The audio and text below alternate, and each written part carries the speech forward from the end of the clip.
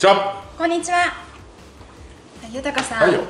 今自滅の刃と言われているチームがあるのをご存知でしょうか？知らない。知何を言ってるか知らない。いやスポーツ紙が一面に、えー阪神タイガースうん。なかなか勝ちきれないということで「あの鬼滅の刃」にかけて「自滅の刃」っていうふうにタイトルをつけて出してたのが今結構話題になってるんです。なるほどね。良くも悪くもなんですけど、まあそうだねとどうしましちょっとはあのまあ一時期セ・リーグの借金を1チームで抱えちゃったみたいな、はい。まあそういう状況もあるしね、はい。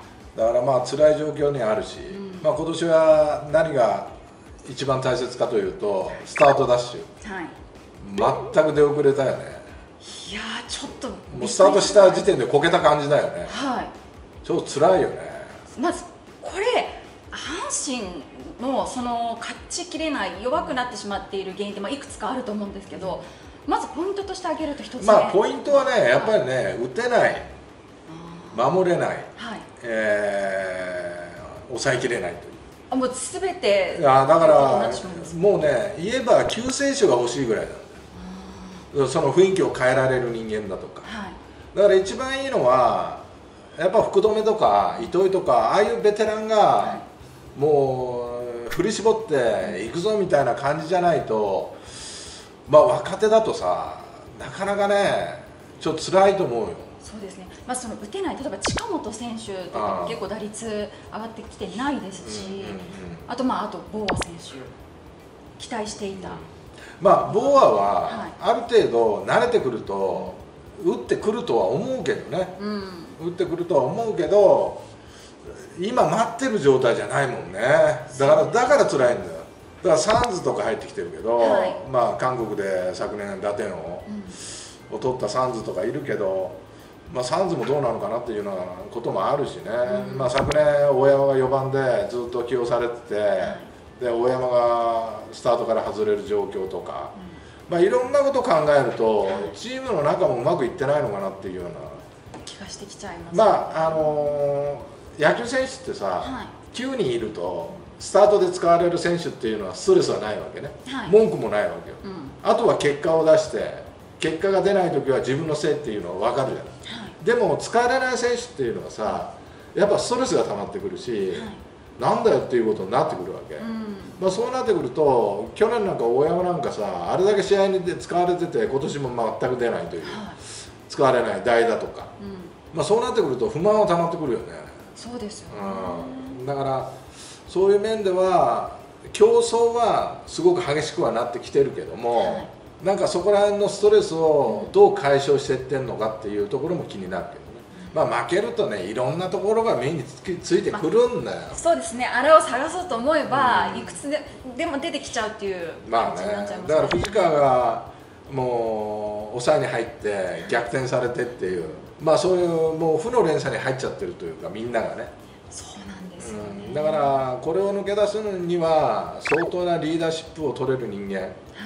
まあ監督が一番いいんだろうけど。はい。まあそういうことで抜け出していくしかないよね。そうですよね。で今藤川球児のはあ選手投手の話も出ましたけれどもでそのピッチャー陣特にその中継ぎとか後ろとかがちょっと崩崩壊というか大丈夫かなっていうまあ青写真とは全く違った様相になってきてるよね。そうなんですよね。まあ先発陣はある程度こうゲームを作ったりだとか、、はい。ろいろしてると思うんだけども、中に入った時まあ例えばさ他のチームは失敗が多いんだよね。はい。わかる？実は。実は、うん。まあ山崎も失敗してるし、はいはい。いろんなところで石山もそうだし、はい。えー広島もそうだし、うんなんかねいろんなところでミス失敗してるよ。森もそうだよね。そうですよねソフトバンク。はい。だからその中継ぎ陣がとか抑えが出る出てくる時に無観客でやってるっていうのが俺はどうもこう気持ちの作り方が下手なのかなっていう。そこがちょっと響いてきてるんですかねやっぱりさ中継ぎってさうん技術とかはボールの力というよりも気持ちで抑えるピッチャーが多いんだよね。はい。気持ちでいくっていう。もうヘトヘトでもよし1イニングっていうようなことで気持ちでいく。それはそういう気持ちで向かおうとした時にファンが背中を押してくれる。そういうものは全くない。はい。だからなんかポカーンとなんか一人テンション高くてもさ、パーンといるところで一人テンション高くてえおバカみたいじゃない？みたいな。温度差がね。温度差が、はい。温度差をなんかすごく感じてるはずなんだよ。はいだから阪神なんか特に甲子園球場でやる時なんかは、はい。もうなんか抑えんかったら、ボロカス言われてっていうようなことがあるじゃない。はい。だからそういう緊張感もなんかあんま感じられないのかなっていう。だからその本人が悪いというよりも、はい。その気持ちの作り方がまだわからないんじゃないかなっていうような気がしてならないね。その投手陣のっていうことですよね。それはもちろん技術も確かにあるかもわからないけども、はいだけどそういうところも大きな要素になってるなっていうふうに思うよ、だからこれは各球団全部一緒なんだけど、はい。みんな苦しんでるよ中継ぎ陣そう抑えてね。だから気持ちがこう乗ってこないんだよ。一人だけクワーってきて、はい。え周りちょっと疲れてるかみたいな。確かにそこの温度差が温か度差あるよね。いやだからその先発陣が今年結構よく見えるのはやっぱ先発陣と野手陣って用意スタートで一緒にスタートしてるから徐々にこう温度差を感じずにいけるってことですよそう。ね。いやだからまあそこら辺は阪神だけに限ったことではないけども、はやっぱチームがこう低迷するとな阪神の中継ぎ陣ボロボロやないかとか、まあ下馬評が良かっただけにうん。ピッチャー陣のはい。それはもう表裏で叩かれるよね、まあす。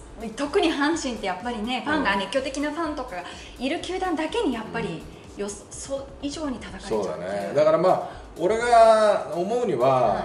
まああんまりバタバタしないことだよ。うん。だからもう打てないから外してとっかい引っかいやってると、はいやっぱり変えられた選手っていうのはせっかくきっかけをつかみかけてるのに、また一からやり直すとかさ。はい。そういうことになってくるからもう信じた人間をもう配置してやっぱ待ちの姿勢でしかないよね。それが一番いいと思うじゃないとここはここであいつ昨日打てなかったらもう変えようとか言ってたらもう堂々巡りになってくる。で最後に決まるのはやっぱり自分たちが信じた開幕の開幕したスタートの人間たちなんだよあもう結局その原点っていうそうことそう。なんですよね。そうだからスランプってさ、はやっぱね良くなろうと思っていろんなことするんだよ。うん。得打ちまあバッティングのことで言えば得打ちやったりとかどうの。でもその要因っていうのがどこにあるかっていうのをさしっかりこう見極めないと、あの堂々巡りを始めるよ。そうするともう迷宮入りみたいなね瞑想しちゃいますよね。だからあの疲れた時にはい。得打ちやったらどうなる、疲れた時に得意したらもっとなんかもっと疲れるよな、はそしたら何したらいい？い休む。そうだろ、はい。だからそういう単純な発想でいいんだよ。そうですね。うん。だからもうね、はい。藁をも使うみたいにこうやって何でもかんでもし始めると結局は溺れちゃうっていう。だからまあ確かに周りの雑音っていうかさ、はことはすごく気になるかもわかんないけどだけどそこはもう点として構えとかないともうとんでもない取り返しのつかないシーズンになるよそうですよね、うん。逆にじゃあ阪神のここは明るい材料だなとかここない。な何があるんだない。梅野選手頑張って。いや梅野は 梅ちゃん。梅ちゃんは、はい。梅ちゃんはあのぐらいの実力があって一生懸命頑張ってるだけの話で、はい。だから特別に頑張ってるわけじゃない。うん梅ちゃんはあれが実力だから、まあそうですね。まあ頑張普通にやってくれてるんだよ、はい。だから普通でいいんだよ普通で。で他みんなどの選手も普通にやあってもらえれば。らもう俺が連敗止めてやるんで力みいらないかはい。らね、連敗止めるその際を振るうっていうのは矢野監督側の仕事だから。選手はその場その場で結果を出していけばいいだけの話だから、うんだからそこら辺は梅ちゃんみたいに自然にやっといてくれりゃいいんだよ。うん。それが難しいんでしょうね。うん。いや難しいよ。シンプルなことが結構難しかったりしますもんね。いやシンプルイズベストって言うけど、い。シンプルほど難しいものはない。逆に言えば、ですよね。うん、だからゴルフでも、はい本当にまっすぐのラインって結構難しいんだよね。まっすぐ打てば入るよって、はい。そのまっすぐが難しいんだよちょっとこう曲がってる方が意外に楽だったりとかする。あそうなんですね。そうそうそうそう。慌てることなく騒が騒ぐことなく、そういうふうにやっとかないと、はい。それとあとは信じる力だよ。